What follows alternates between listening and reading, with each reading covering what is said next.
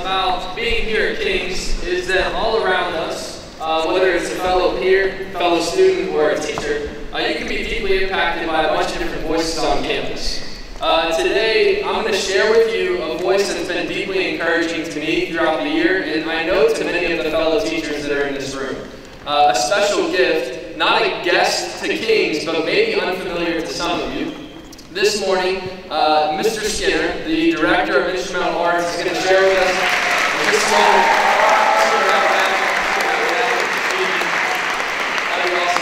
Before he speaks, let me pray for him real quick. And then I ask you're always respectful to me, be respectful to Mr. Skinner as well, as he leads us this morning. Let, us, let me pray.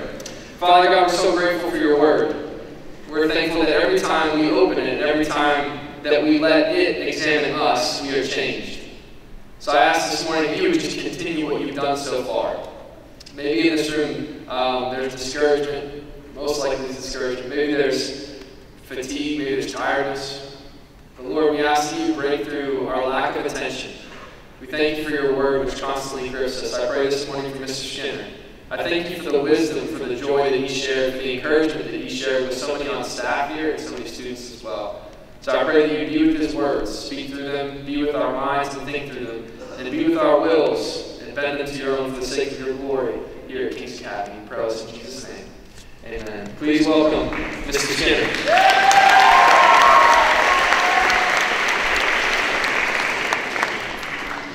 Thank you. Thank you to all those band students that I just heard. Uh, your GPA is secure. So, um, Mr. Kimball asked me last year if I would be willing to speak, and uh, I kind of made a commitment uh, to the Lord that if anybody at the King's Academy asked me to minister in any way, that I would do so, whether I really wanted to or not. Because if I have an opportunity and I've been given something, then I want to be able to give that back. So this morning I want to talk to you about divine appointments. Divine appointments. Do you know what a divine appointment is? I heard a couple of no's. So a divine appointment is when God makes the appointment. Thanks for that.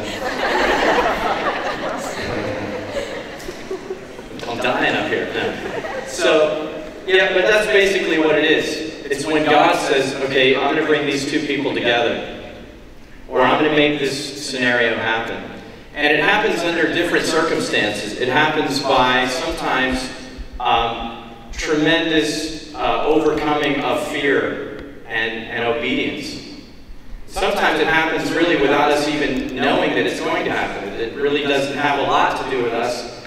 But I want to talk to you about that this morning, divine appointments. And I want to also share some stories with you because um, what I've discovered, and I was raised in a Christian home. My dad was a pastor. He was a missionary to the West Indies for five years. Um, I grew up in a Christian environment, but I can tell you, I'm, I'm 53 years old. I know, I know what you're thinking. There's no way he's 53. We're not sure which direction, but he's not 53. But what I can tell you is that the words in this book are true and they can be counted on in all kinds of circumstances. And I want to just encourage you with that, with, with those words and, and some stories this morning. I want to just read a couple of verses of scripture. Jeremiah 10 23 says, Lord, I know that people's lives are not their own. This is an important lesson to learn in life. I'm still learning it. Because sometimes I just want to do my own thing, regardless of whatever God wants me to do. I want to do whatever I want to do. I don't really, you know, I, I want to do what's comfortable to me. I want to do what's convenient to me. But what I've learned is that my life is not really my own. It's not really my own. You guys doing all right over here? I always sit down here and I never like feel like, you know, get hooked up. But uh, anyway, I'm just, just hooking up with you guys over here.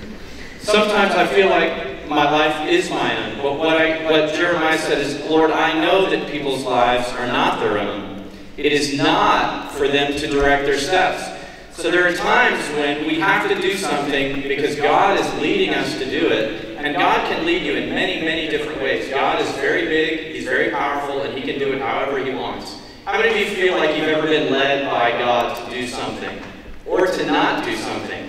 Just curious. Raise a silent hand. I, I, learned that in elementary class. I like that. Um, so I want to tell you a story, and I brought some notes for this story. It's not my own story. I'm going to share my own, some, some of my own story. But I, but I brought some notes because I didn't want to miss any of the details. But this story really had a, a, a profound impact on me. Um, a minister was teaching a conference on, on evangelism, on leading people to the Lord. And after he did the teaching, then they went out, and this was pretty hardcore. They went door to door.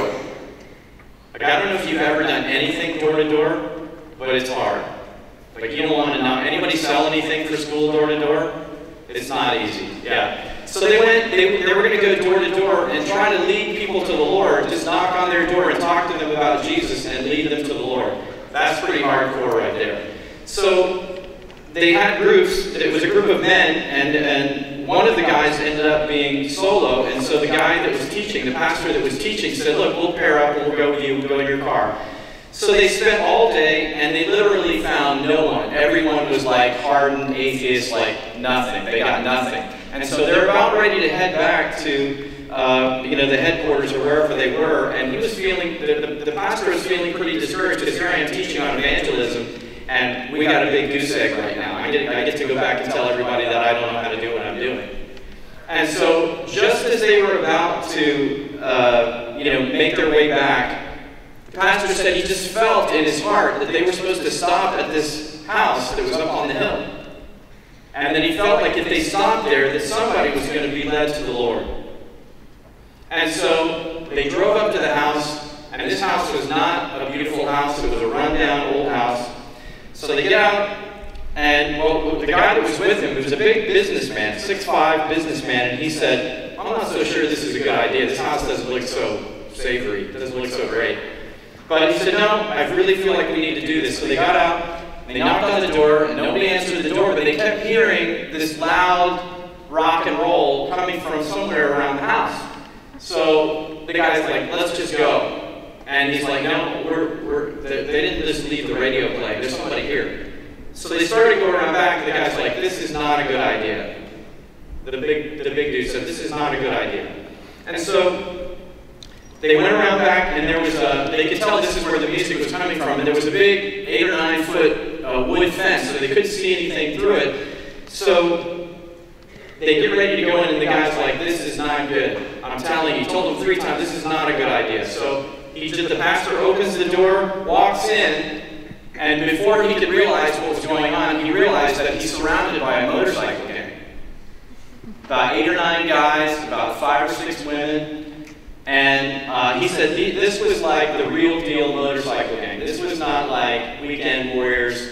This was not like lawyers in leather. This was like real hardcore, like these were bad dudes. And he said the guy standing nearest the door had a tattoo on his arm that said, born to kill. And, um, but it was too late. He was already in. So the music is playing, so he marches over to where the stereo is, turns the power off, and says, I'm here to talk to you about Jesus. I'm thinking, I never would have gotten out of the car. So this is the kind of boldness that I don't have. So he said, and, and of course he was terrified. Don't get, don't get me wrong, the, the minister was terrified to be here. These guys were not welcoming, they were not looking like Mormon friendly. Um, so he starts preaching to them, and he kind of gets done with his bit like as quick as he could. And he said he had his head down and his eyes closed the whole time because if he got shot, he didn't want to see it coming. And so he finishes and he says, Now, when I open my eyes, if anybody wants to receive Christ and wants to have your life changed, then raise your hand. And he said, he said, I finished preaching, I opened my eyes, and he said they were literally just looking at me with their mouths hang, hanging open like, what planet did this guy come from? And so he doesn't stop there. He walks up to each one of the motorcycle gang dudes and asks them individually if they want to receive Christ. And he said, I've never been cursed out more efficiently, more prolifically, more with, he said these guys cursed with such great ease, it was phenomenal. And he was cursed out by these people, and so he realizes at that moment, I was not led by God in here. I just came in here because I didn't want to go back with a goose egg. I just came in here on my own. And he said, so at that point, my biggest goal is to get out of there alive. And he said, just about the time he turned to go, he heard a little voice. Said, hey, mister, what about me? Turns around, and behind the choppers was a pool table covered up with a, a tarp. And a little boy crawled out from under the pool table, and he had his hand up. He said, what about me, mister? You didn't, you didn't, you didn't see my hand. I want to receive Jesus. And so he goes over to the little boy and he kneels down and he starts to pray with him. And one of the women there cursed him out and said, Get away from him. He doesn't know what you're talking about. Get away from him. And the guy that was standing by the gate, who had the tattoo that said born to kill, said, Shut up, woman. These were bad dudes, I told you. He said, Shut up, woman. This ain't for, this ain't for me. I ain't going to do it, and you ain't going to do it, but you're not going to stop the kid. And that little boy received the Lord that day. He prayed with him, he gave him a little New Testament Bible, wrote his name in it. And he said when they left and got in the car, the six foot five businessman was just weeping. And he said, you know, you're supposed to follow up when you do evangelism. So he went back a few days later, and they were they all moved out. They were gone. So that opportunity, that divine appointment, would not have occurred at that moment had they not been obedient, had he not been obedient in that circumstance. I don't know about you, but there's a, several layers of challenge that probably would have made me go home, made me stop. But you know, the scripture says that the angels in heaven rejoice over one person that comes to the Lord. Did you know that? Did you know the scripture says that? One person, the angels in heaven rejoice. So, but it's not always about that. It's not always about being evangelistic and fearless and, and standing up in the face of challenge or being cursed out. Sometimes God just does it with, this, with the most quiet voice. Elijah learned that God speaks with a still small voice. I'm going to tell you a story that I experienced myself. My wife and I we're going to go do some, run some errands, just, you know, on Saturday, just nothing interesting. Go to the dry cleaners, go to the, you know, grocery store, whatever. And I remember, and we needed to stop by my parents' house. And I told my wife before we left the house, I said, I want to make sure we stop by my mom and dad's house first. I didn't have any special feeling or leading of the Lord or inclination or anything. I just said, well, I want to stop by. And we got in the car, and I said to her again, I said, I want to make sure that we stop by mom and dad's house first. Again, I don't know why I said it. I don't know why I did it. We pulled up into my parents' driveway, and the car was sitting out in front of the house. And as I walked out of my car, I walked up and I saw my dad. It looked like he was looking under the undercarriage of the car, like laying on his back, looking under the car. And as I approached, I realized he wasn't looking under the car. He wasn't looking at anything. He was unconscious. And so I ran up and I called his name three times. I said it loud. I said, Dad, Dad, Dad. And he came to. His, there was there was a iron uh, railing around the patio of the, their front door, and his head was kind of laying in between two two iron bars. And my mom must have heard me. She did hear me, and she came running. And, and she was on the inside of the railing, and she said to my dad, she said, are you all right? She said, does anything hurt? He said, my head hurts. And so she took, her, took his head in her hand, and she said, oh my goodness, he's bleeding.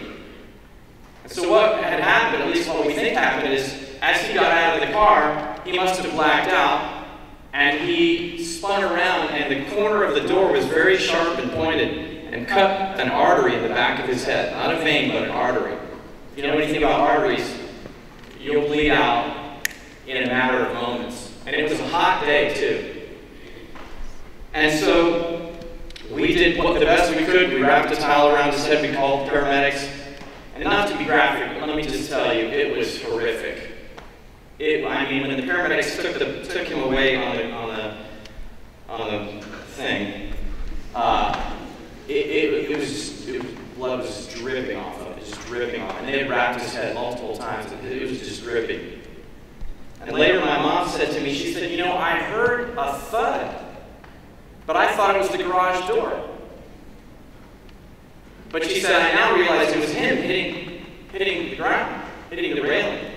And she said, It wasn't 60 seconds before I heard your voice saying, Dad, Dad. So I literally drove up within a minute of that occurring. And had I not been there, my mom would not have been alerted. My dad would have died right there on the spot in a matter of moments. It was a divine appointment. He had me there. I wasn't obedient. I didn't do anything. The only thing I can tell you is that there was something inside me that made me insist to go to their house first. Because if we had gone anywhere else first, he would have been dead. This was a divine appointment. You understand what I'm saying? So sometimes God speaks in a very, very quiet, subtle way. He'll speak to you in the form of an inclination you have inside. Sometimes He'll speak to you in, in profound ways. If you want some homework, and I know how much you want some homework, go. I was supposed, supposed to help you out there. Um, read Acts chapter 10, the story of Cornelius and Peter, and you will see a divine intersection that caused the gospel to be delivered to the Gentiles. It's one of the reasons that we have heard the gospel and that we have received the gospel. And it happened way back then. And it, and it required, and it was, they were, both of those men were visited by angelic messengers. But Peter had to overcome a lot of tradition, religious tradition, in order to go to the Gentiles and, and speak to them and even be in their house with them. Anyway, go read Acts chapter 10 if you're so inclined. If you want to read about another uh, divine appointment from the scriptures.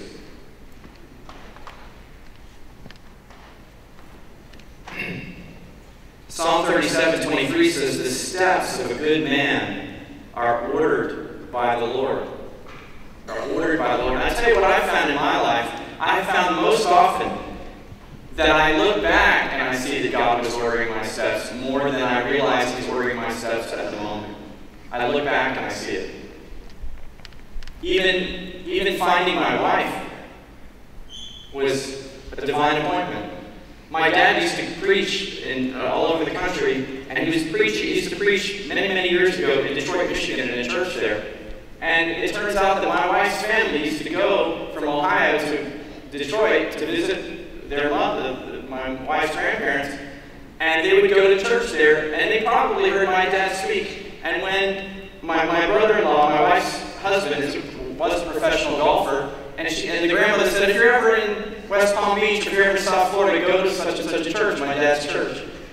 And that's what he did, and that's where he met my sister. By the way, my sister is married to my wife's brother. That'll, that'll get you thinking. It's all quite legal, I assure you. brother and sister, brother and sister, they got married. In fact, I met my wife at their wedding. I was dating somebody else at the time. And wishing I wasn't.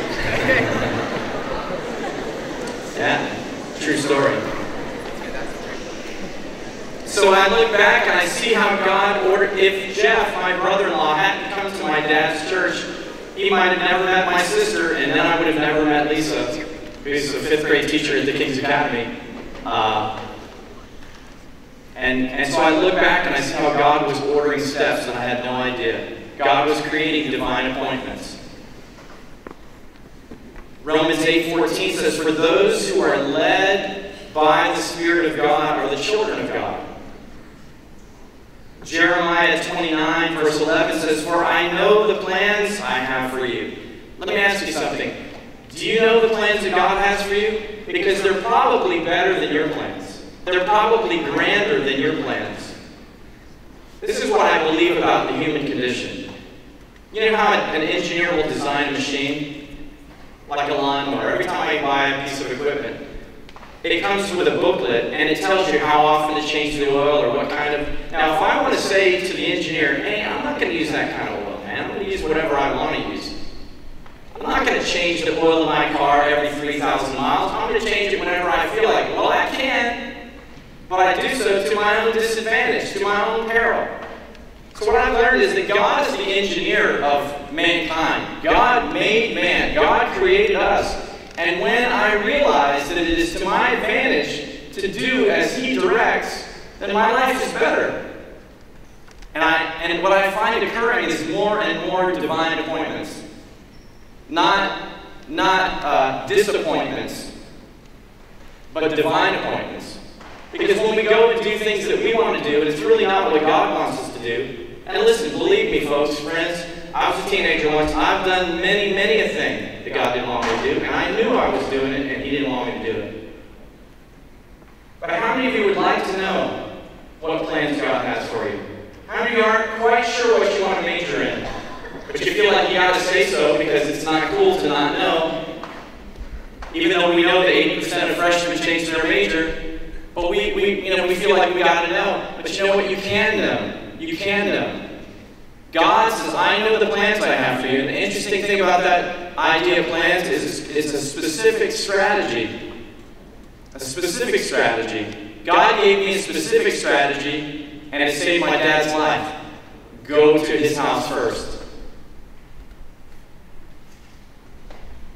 So, what I've learned, my young friends, is that when I do what God wants me to do, when I seek to be led by His Spirit, my life is better. And other people's lives are better. You understand what I'm saying?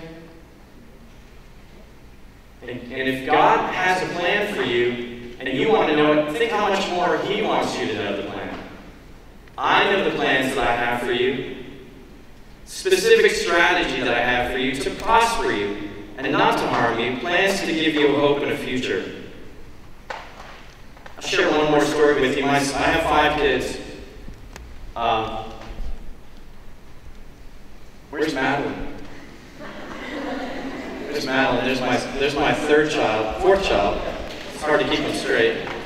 She used to be my baby. Don't worry, I'm not going to tell any stories, honey. She used to be my baby. And on my wife's 47th birthday, she took a pregnancy test and discovered that she was pregnant. 47th birthday. Say with me, 47. People are like, wow. I'm like, yeah, that's what we said. We didn't know God had that plan in mind, but you know what? She's in second grade at the King's Academy. And she's been a blessing to us since the day she was born. Just joy, just comfort. Somehow she's our comfort baby. But my second son, Josh, had spina bifida when he was born. He's been in a wheelchair for 24 years. But when he was young, we used to go to the Shriners Hospital twice a year. And I won't go into all the medical stuff, but they wanted to do an operation on his hips. And if, if you know anything about the Shriners, all the medical care there is for free. The Shriners raise the money, and when you go there, it's all for free. It's quite a wonderful thing. And so we were scheduled for a major hip operation on this little guy. And my wife was quite pregnant with, with our next child, our fourth child, and I was about to enter band camp season, which is like, you know, football season for a coach. It's like a really busy time. And my son was going to have to be in this big, heavy cast for, for six weeks, and my wife was going to have to carry him around, pregnant out to here, and we were just like, man, this is not good. We just felt a little hesitation about it. See, this is what I'm talking about. There's no real, real method or, or uh, way that God leads you. Sometimes it's just the way you feel. And, and, but we were already scheduled for this surgery. And my wife's like, well, what do we do about it? I said, well, we're not going to go in there and tell these people who are going to give us a free surgery. Um, we just feel like we're not going to do it. Because that would not, that would just be weird. And nobody likes weird Christians, okay? Be, like, be, be reasonable and responsible and normal, right? I mean, our beliefs are weird enough, you know? When we believe that Jesus was raised from the dead, that's pretty weird to some people. So, Anyway, I said, look, this is what's going to happen. God's going to have to let us out. If He wants us to not have this, if this is from, if this is Him leading us, then He's going to have to give us an out. And so my son is checked into the hospital, they've done all the blood work, they've done everything, and at about 7 p.m. the night before the surgery, the surgeon comes by. We weren't expecting him. And he said, hey, how you guys doing? And we're like, well, we're doing okay. And he asked this question, how do you feel about this surgery? My wife and I, our ears perked up. How do we feel about it? I said, well, to tell you the truth, it's not a really great timing. My wife's pregnant. Son's going to have to be in this big, heavy cast. I'm going to be gone a lot. It's just really not a good timing for us. He said, well, you know, it's interesting that you should say that because I checked with the other surgeons on this case, and they all, we all agree that it's, that it's too aggressive for us to do the surgery. We don't feel like we should do it. So if you don't feel like we should do it, then we won't do it. And I'm like, thank you, Lord. You gave me an out. You gave us an out. So, really, my whole message to you today is that God wants to have a divine appointment with you. He wants to make you meet the right person that you're supposed to meet. Hey, girls, would you like to meet the right person that you're supposed to meet?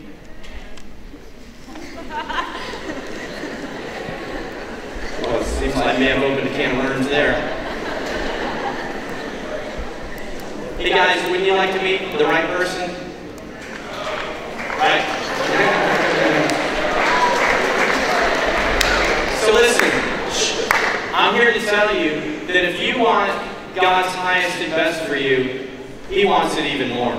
And all you have to do is open your heart, open your heart to that reality. Open your heart and say, God, I want you to lead me. See, sometimes we come to school and we think, I got a test, and I got this homework, and whatever, and we don't stop to think. I'm the same way. I go, well, I got to teach this, and I got to get this concert ready, and I got to do this. And what we're not thinking about is the fact that God might have a plan for us today that's a divine appointment. And I frankly think that we miss some appointments because we're not listening. What do you guys think? Hey, there's my alarm. That means my 25 minutes are up. I hope that you heard something today that's going to be of value to you. I'm here to tell you that my own life, I can see God's hand at work. I can see divine appointments that He has set up for me that I knew nothing about. And my prayer for you is that you will experience the same thing. Let me turn this alarm off and let's pray.